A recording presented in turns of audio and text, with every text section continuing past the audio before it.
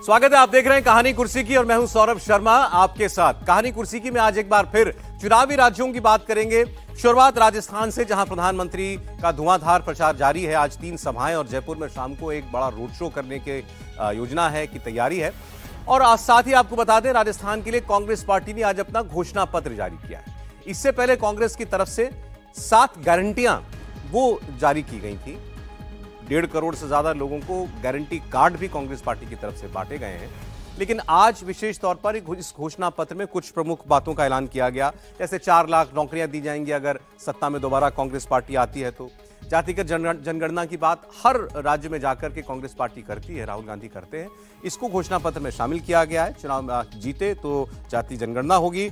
इसके अलावा जो गारंटियाँ हैं, उसमें पाँच सौ रुपये में सिलेंडर, महिलाओं को महिला प्रमुखों को जो परिवार की हैं, दस हज़ार रुपये सालाना, दो रुपये किलो गोबर खरीद, खरीदा जाएगा, छात्रों को लैपटॉप दिया जाएगा, ये तमाम बातें पहले ही थी। लेकिन आज हम बात करेंगे राजस्थान, मध्य प्रदेश और छत्तीसगढ़। इन तीन राज्यों के अंदर, जैसे पत्रकारों का अनुमान होता है, चुनाव विश्लेषकों का अनुमान होता है, क्या होने जा रहा है चुनाव में, आम जनता का अनुमान होता है, ऐसे ही सट्टा बाज़ार का भी एक अनुमान होता है। आप कहेंगे, सट्टा बाज़ार की बात हम क्यों कर रहे हैं? क्योंकि सट्टा बाज़ार के लोग भी बड़ी बारीकी से चुनावों को देखते हैं, पढ़ते हैं और उसके हिसाब से अपना अनुमान लगाते हैं। आजकल तो बड़े बड़े नेता भी सट्टा बाज़ार को फॉलो करते हैं। कुछ नेता तो सट्टा सट्टा बाज़ार की जो प्रडिक्शन है, वो ऑलरेडी या जो भाव है, उसको भी शेयर कर रहे हैं सोशल मीडिया पर। ये बताने के लिए कि कैसे उनकी पार्टी की जीत की भविष्यवाणी सट्टा बाज़ार भी कर रहा है। तो हमारे कुछ सहयोगियों ने सट्टा बाज़ार से जुड़े लोगों से बात करके अनुमान लगाने की कोशिश की है कि उस दुनिया के अंदर क्या चल रहा है। उस दुनिया के लोग क्या मान रहे हैं? कि आखिर इन चुनावों में कौन जीत सकता है किसकी हार हो सकती है कितने मार्जिन से किस पार्टी की जीत हो सकती है? और उसके बाद फिर हम आपको बताएँगे कि जो आ, दोनों पार्टियाँ हैं बीजेपी और कांग्रेस इनकी इंटरनल असेसमेंट क्या है? इनका अपना अनुमान क्या है? क्योंकि ये पार्टियाँ भी लगातार फीडबैक लेती हैं अपने कार्यकर्ताओं के ज़रिए सर्वे भी कराती हैं उससे इनको पता चलता है कि आखिर माहौल क्या है इनके पक्ष में है या नहीं और है तो कितना है? तो दोनों पैमानों पर आ, क्या स्थिति बनती दिखाई दे रही है बीजेपी, कांग्रेस दोनों की, इन तीनों राज्यों में, खास करके? आज हम ये आपको बताएँगे। हमारे साथ स्टूडियो में कहानी कुर्सी की में जुड़ रहे हैं हर्षवर्धन त्रिपाठी जी। स्वागत है हर्षवर्धन जी आपका। राहुल महाजन जी हमारे साथ हैं। राहुल जी, स्वागत है। समीर चौगांवकर साहब। समीर जी, स्वागत आपका भी। हमारे पोलिटिकल एडिटर देवेंद्र पराशर हमारे साथ हैं। साथ ही हमारे दोस्त सहयोगी मनीष भट्टाचार्य जयपुर से और अनुराग अमिताभ भोपाल से जुड़ रहे हैं इस वक्त हमारे साथ। तो आइए शुरुआत हम पहले एमपी छत्तीसगढ़ की बात कर लेते हैं। चुनाव तो वहाँ पूरा हो चुका है। अब अनुराग के पास चलते हैं। अनुराग, पता लगा पाए आप कि आखिर सट्टा बाज़ार क्या कह रहा है मध्य प्रदेश और छत्तीसगढ़ के लिए?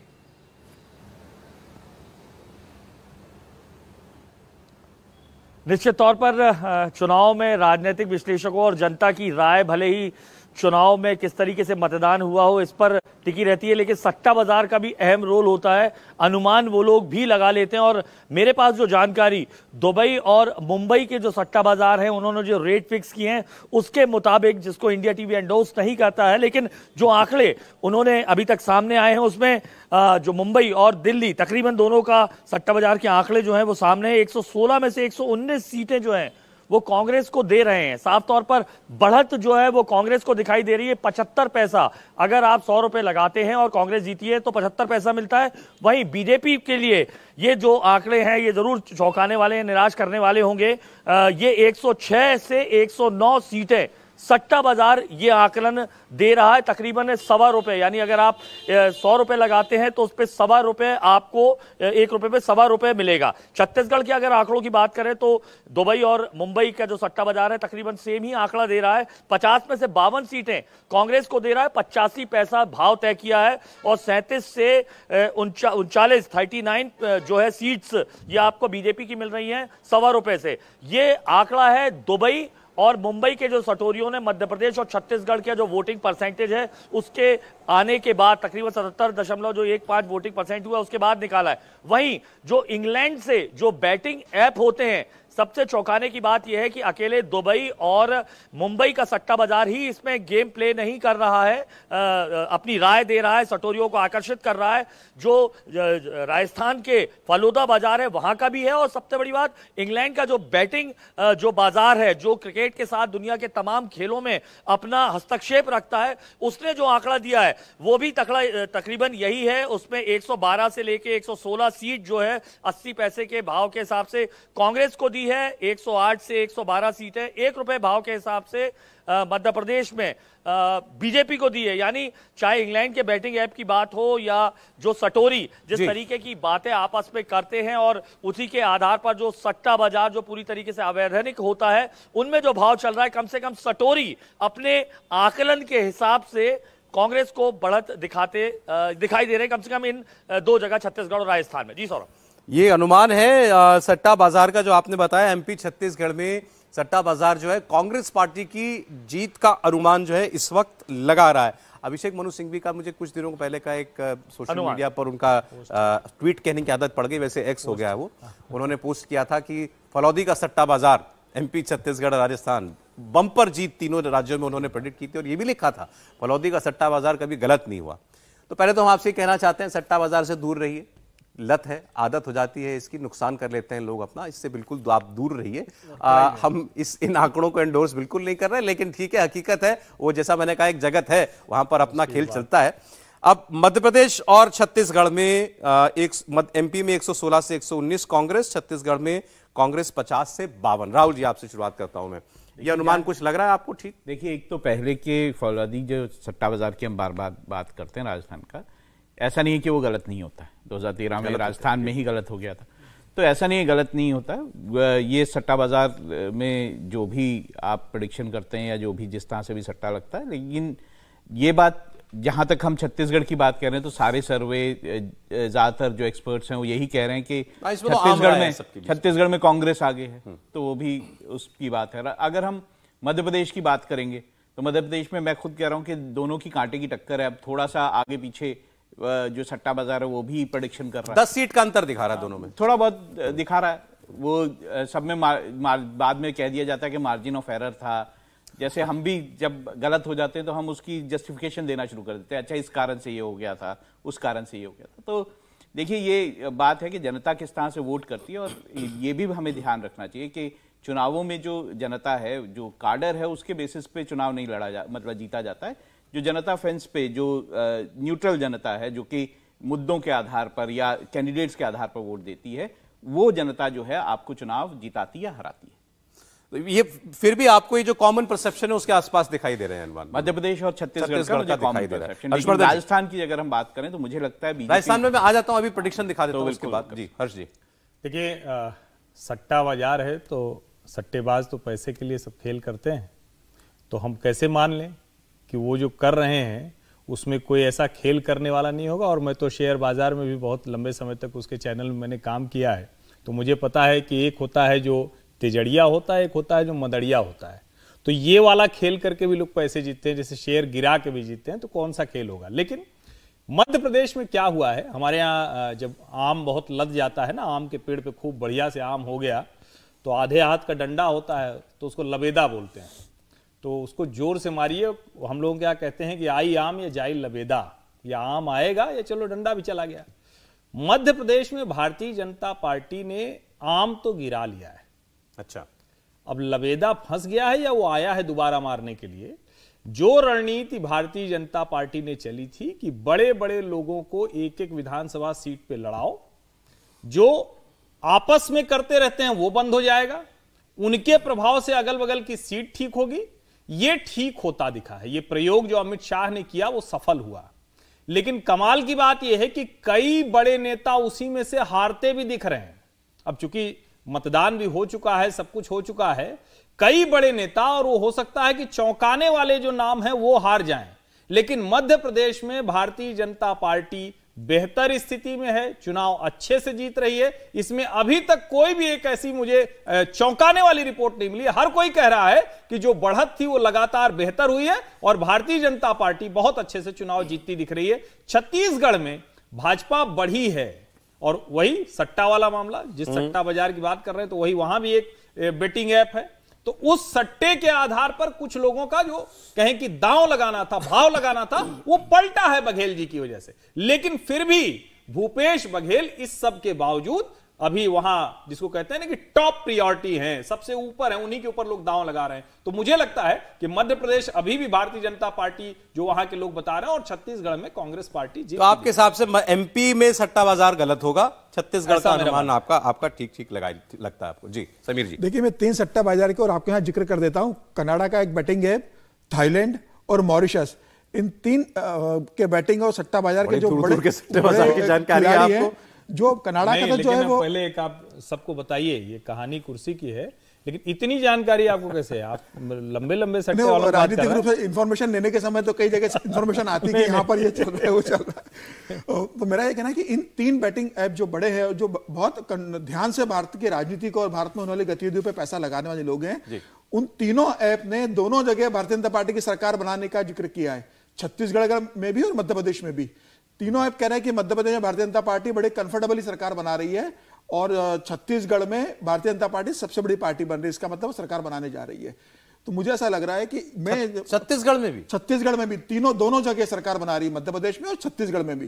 तो मुझे ऐसा लगता है कि मध्य प्रदेश को लेकर तो मैं बहुत कॉन्फिडेंट हूँ कि मध्य प्रदेश में भारतीय जनता पार्टी एक सीटों में से 120 से 100 कल भी मैंने कहा था कि 120 से 125 सीटों पर भारतीय जनता पार्टी मध्य प्रदेश में जा रही है।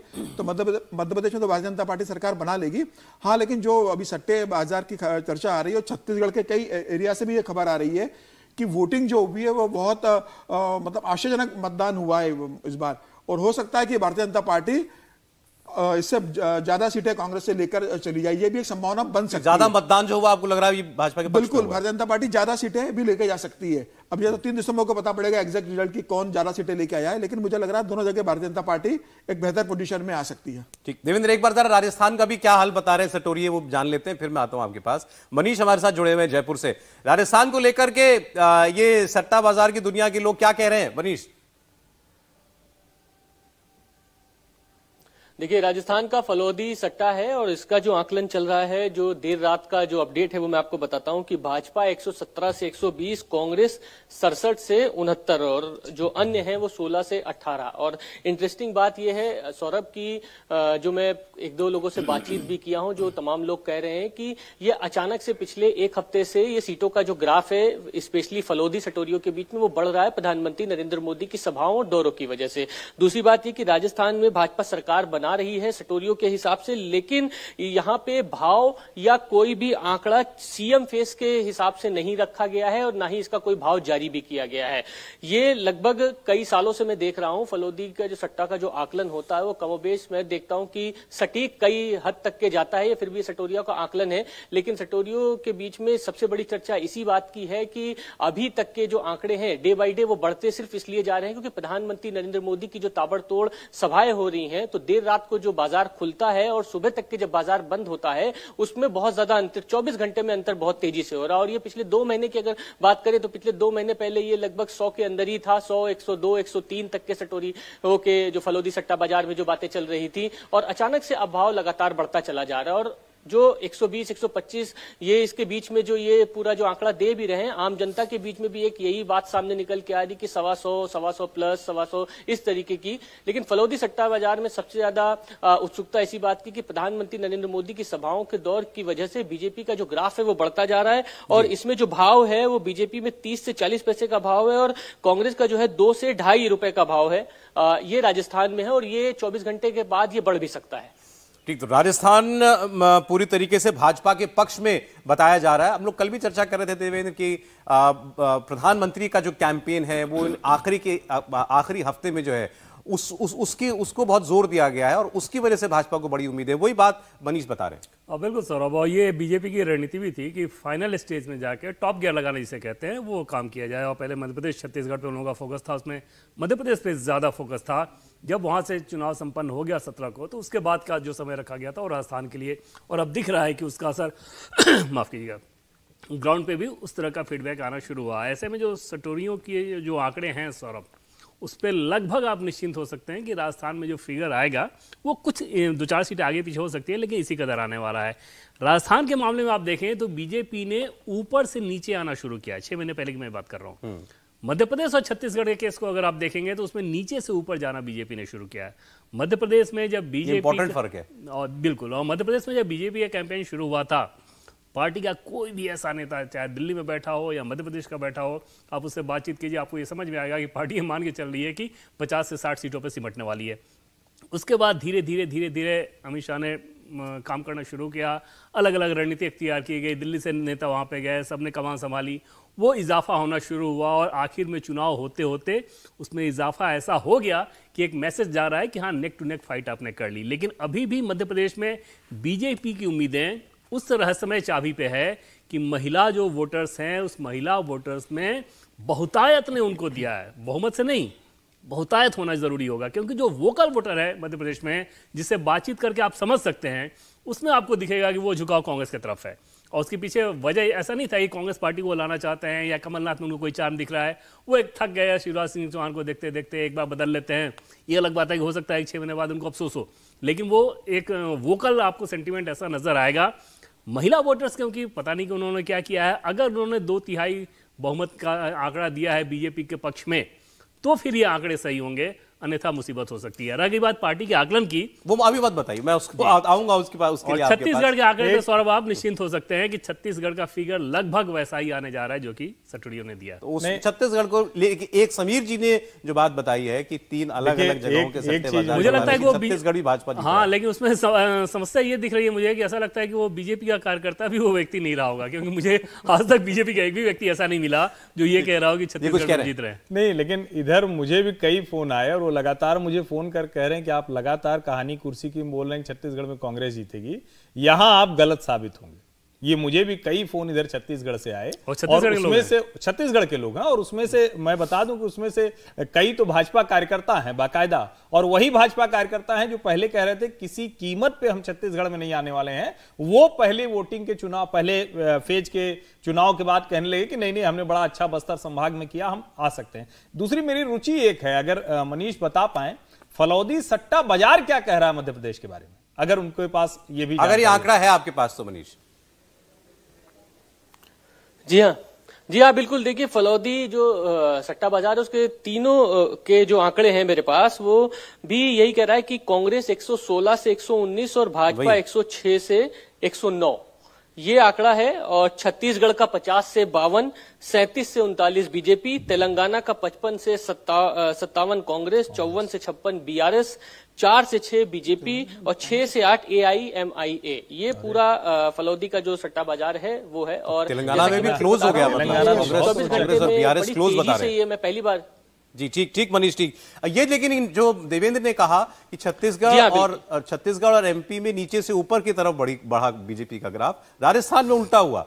राजस्थान में जीत बहुत कंफर्टेबल होनी चाहिए थी बड़ी होनी चाहिए थी। वो ऐसा लग रहा है कि इतनी नज़दीक आ गई थी कि प्रधानमंत्री को इतना ज़ोर लगाना पड़ रहा है देखिए राजस्थान में कहीं ना कहीं बीजेपी ने जो वसुंधरा राजे सिंधिया को शुरू में एक ऐसी परसेप्शन मैं कहूँगा जो लोगों के बीच में गई कि वसुंधरा राजे सिंधिया जो हैं वो कहीं हाशिए पे हैं या उनको जो है भाव नहीं दिया जा रहा, उनको आगे नहीं बढ़ाया जा रहा, शायद वो एक परसेप्शन जो है वो गलत तरीके से काम किया। देखिए जैसे अभी भी बात हो रही थी कि महिलाओं के वोट की बात हो रही थी कि महिला जो हैं वो बढ़ चढ़ के बीजेपी के लिए वोट करते हैं। हम इस पर बाद में बात कर सकते हैं, लेकिन इसमें भी जो असेसमेंट है, अगर मैं आपको बताऊँ महिलाओं के वोटों को भी अगर हम असेस कर लें तो मध्य प्रदेश की बात करते हैं। 2018 में लगभग 44 सीटें ऐसी थी जिसमें महिलाओं ने ज़्यादा वोट किया था पुरुषों से। और इस बार चौंतीस सीटें ऐसी हैं मध्य प्रदेश में जिसमें महिलाओं ने पुरुषों से ज़्यादा वोट किया। है देखिए वैसे भी राजस्थान छत्तीसगढ़ मध्य प्रदेश अगर महिलाओं की बात करेंगे तो महिलाओं की संख्या भी बड़ी है। पूरे सालों में महिलाओं की संख्या बड़ी है महिलाओं वोटरों की भी संख्या बड़ी तो ऐसे में महिलाएँ बाहर आके वोट करें ये तो सही बात है। लेकिन क्या महिलाएँ बीजेपी के पक्ष में वोट करें ये पार्टियों का परसेप्शन अपना अपना है। लेकिन मैंने आपको एक आंकड़ा दिया उसके हिसाब से देखिए 19 सीटें ऐसी थी लगभग 2018 के चुनावों में लगभग 19 सीटें ऐसी। अगर विंद की अभी हम बात करें तो 19 सीटों पे जो है वो महिलाओं ने ज़्यादा वोट किया था। और विंध में बीजेपी का आंकड़ा आप देख सकते हैं मतलब 24 सीटें उन्होंने 30 में से जीती थी। तो तो ये अलाइन होती हैं दोनों बातें। तो दोनों मैं ये बोल रहा हूँ कि ये कहना कि महिलाओं ने एक पार्टी के पक्ष में वोट किया होगा ये थोड़ा मुश्किल है। लेकिन बीजेपी का जो पूरा कैंपेन रहा है वो महिला सेंट्रिक रहा है। उनके जो जो उन्होंने स्कीम्स भी शुरू की चाहे वो मध्य प्रदेश की लाडली बहना स्कीम है वो भी महिलाओं को लुभाती है। महिलाओं के लिए काफ़ी काम बीजेपी ने किया है। लेकिन अगर हम मध्य प्रदेश और छत्तीस मध्य प्रदेश और राजस्थान में जो टिकटें दी गई हैं अगर उसकी तरफ़ देंगे तो कांग्रेस ने ज़्यादा महिलाओं को टिकटें दी तो ऐसे में बहुत सारे इफ्स एंड बट्स इसमें दिखाई देते हैं, लेकिन ठीक है, ये परसेप्शन लोगों का। जहाँ महिलाओं के वोट से भारतीय जनता पार्टी को खास तौर पर ज़्यादा उम्मीद है, वहीं अभी आप आपको कुछ आंकड़े दिए राहुल जी ने। एक आंकड़ा यह भी है कि 30 के करीब सीटें ऐसी थी जो बहुत क्लोज मार्जिन से डिसाइड हुई थी 2018 के चुनाव में। वहाँ पर खास तौर पर यह वोट जो है और क्रूशल हो जाएगा दोनों पार्टियों के लिए। अनुराग हमारे साथ हैं वो बेहतर बता सकते हैं। क्या क्लोज मार्जिन रहे? मैंने तो देखा एक सीट पर शायद सवा सौ वोटों का मार्जिन ही मात्र था। तो ऐसे ये दो तीन दर्जन के करीब सीटें हैं जो 100 से लेकर के पंद्रह सौ दो हज़ार के बीच में के, के अंतर से हार जीत तय हुई जहाँ 2018 में। अनुराग। निश्चित तौर पे हज़ार से हज़ार वोटर वाली ऐसी सीट रही हैं जहाँ पर 10 सीटों पर प्रभाव पड़ा है। डेढ़ सौ से लेकर 400 तक की ऐसी सीट्स रही हैं। चार हज़ार तक मतलब अगर अंडर पाँच हज़ार तक माने तो उसमें 10 से 12 सीटें रही हैं। इन्हीं सीटों को चिन्हित किया था बीजेपी ने इस चुनाव में। इस चुनाव से तकरीबन छह महीने पहले की। ऐसी तमाम सीटें जिसपे हज़ार सीटों पे 10 से 12 पर फ़र्क पड़ा हो पाँच हज़ार से कम पर पड़ा हो इनमें क्या सीटों में हमें जो प्रत्याशी है उनमें बदलाव किया जाए या उन्हीं प्रत्याशियों को रखा जाए? निश्चित तौर पर जहाँ हार हुई थी, वहाँ पर उम्मीद थी कि बहुत कम मार्जिन से जीती थी। इसीलिए हमने पहली सूची में भी देखा कि बहुत तोल मोल के जो है वो लोगों को उन सीटों पर, जहाँ पर पूरी हार हुई थी, जिनको 103 करीबन ऐसी सीटें थी, वहाँ, जहाँ पर उतारा गया था। लेकिन इन सीटों पर बीजेपी ने विशेष ध्यान रखा था जहाँ पर क्लोज मार्जिन था। तमाम जो बड़े नेताओं की, तमाम बड़े शत्रपों को जी रैली हुई, वो इन्हीं सीटों के आसपास, जिसमें से विंध की कम से कम छह से सात सीटें थी तीन से चार सीटें थी, बल्कि ऐसे कहेंगे क्योंकि तीस में से चौबीस सीटें वहाँ पर थी। ग्वालियर चंबल की चौंतीस में से जहाँ पर छब्बीस कांग्रेस को मिली थी, इनसे छह से सात सीटें यहाँ थी। महाकौशल पर भी ध्यान रखा गया था। इन तमाम सीटों पर, जहाँ पर काफ़ी क्लोज मार्जिन से बीजेपी हारी थी, वहाँ पर तमाम शत्रपों को उतारा गया। अमित शाह वहाँ पहुँचे प्रधानमंत्री नरेंद्र मोदी पहुँचे इसके साथ साथ जो शिवराज सिंह चौहान थे उनकी रैलीज भी हुई। इन सीटों पर किसान कल्याण की बात की गई, प्रधानमंत्री आवास योजना की बात की गई, साथ ही साथ महिला, जो गेम चेंजर उनकी योजनाओं थी, उनकी उनकी भी बात की गई, क्योंकि जहाँ पर हज़ार सी, हज़ार से भी कम वोट पड़े पड़े थे, वहाँ पर बीजेपी ने 2018 की गलतियाँ, उन्होंने 2023 आने आने आने से पहले तक सुधार ली थी, जहाँ पर हज़ार सीटों का फ़र्क पड़ा, वहाँ पर अगर आप देखेंगे तो प्रधानमंत्री आवास योजना के तहत आवास सर्व सुलभ कराए गए तमाम उन इलाकों में, जहाँ पर लगा कि यहाँ पर वोटिंग परसेंटेज उनके फेवर में नहीं हुआ इसके साथ साथ तमाम योजनाओं का सीएम राइज स्कूल वहाँ पर बनाए गए स्कूटी योजना से लेकर लैपटॉप योजना तक तमाम फ़ायदा दिया गया। तो बीजेपी ने केवल चुनावी रणनीति नहीं बल्कि बल्कि योजनाओं में भी ज़ोर ज़्यादा ज़्यादा दिखा वहाँ पर जहाँ पर मज़बूत स्थिति नहीं थी पार्टी की। एक बस इसमें एक चीज़ है और ऐड कर दूँ ये इंटरेस्टिंग होगा क्योंकि बीजेपी के लिहाज से ये इंपॉर्टेंट है। अ, अ, समीर जी ये जो क्लोज मार्जिन वाली सीटें हैं ज़्यादातर इनमें से कांग्रेस जीती थी। शायद इसीलिए बीजेपी को उम्मीद होगी इस बार की सुधार अगर होता है इन सीटों पे खास करके तो मार्जिन बढ़ाया जा सकता है। देखिए भारतीय जनता पार्टी ने सिर्फ़ उन सीटों को फोकस नहीं किया जो बहुत क्लोज मार्जिन से हारी भारतीय जनता पार्टी ने सेवेंटी सिक्स सीटें आइडेंटिफाइड की थी जो पाँच हज़ार के अंदर के मार्जिन से या तो भारतीय जनता पार्टी जीती है या भारतीय जनता पार्टी हारी है। भारतीय जनता पार्टी का ये दिल्ली के नेतृत्व का ये निर्णय था कि इन सीटों को केंद्रीय नेतृत्व तय करेगा यहाँ उम्मीदवार कौन होगा यहाँ मुद्दे क्या होंगे यहाँ रैलियाँ कौन होगी। यहाँ कौन से विधायक इंचार्ज होंगे बाहर से किस प्रवेश को यहाँ पर बैठा जाएगा? ये 76 central control assembly seats declare की थी भारतीय जनता पार्टी ने जहाँ प्रदेश का दखल नहीं था। मुझे लग रहा है इन सीटों को अमित शाह ने देखा और भूपेन्द्र यादव ने इन 76 पे पूरा वॉच रखा था। ये 230 सीटों का लगभग 30 परसेंट होता है। भारतीय जनता पार्टी का मानना था कि जो पिछली बार हम क्लोज मार्जिन से जीते हैं वो उसका मार्जिन बढ़ाना है हर हाल में वो तो जीतना ही है। और जो बहुत क्लोज मार्जिन हम सीटें हार गए उन सीटों को हमें लाना जैसे ग्वालियर दक्षिण की प्रवीण पाठक 121 वोटों से जीते थे खाली। तो वो सीटें ऐसी जो हज़ार सीटों की इनको जीतना है। तो मुझे लगा ये 76 सीटें भारतीय जनता पार्टी पूरी टारगेट लेके चल रही थी। और उसी हिसाब से वो आप देखिए प्रधानमंत्री मोदी ने जो रैलियाँ की थी या जो मुद्दे उठाए उसमें से सिक्सटी सीटें इसमें कवर हो रही है। तो मुझे और अमित शाह खुद पचास सीटों में खुद होके आए। तो ये seventy six Bharatiya Janata party के लिए बहुत इंपॉर्टेंट है